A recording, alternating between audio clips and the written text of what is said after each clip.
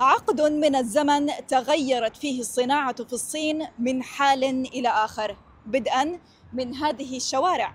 فلم تكن أغلب السيارات من صنع أهلها بل تهيمن عليها السيارات الأمريكية والغربية.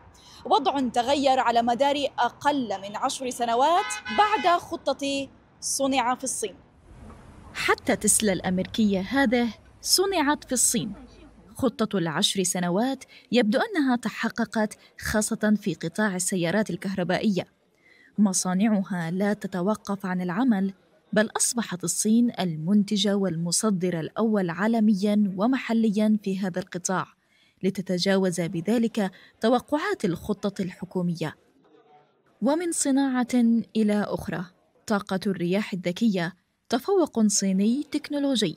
ساهم في تحقيق هدف تحول الصناعة التقليدية إلى تكنولوجية مرتبطة بشبكة الجيل الخامس، لكن ثمة صناعات أخرى تواجه عراقيل غربية وأمريكية.